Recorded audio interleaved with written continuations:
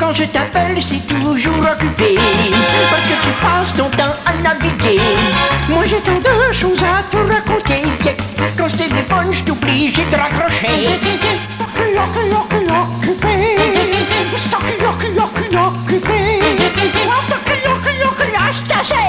Quand t'es sur Internet, laisse donc les autres téléphoner.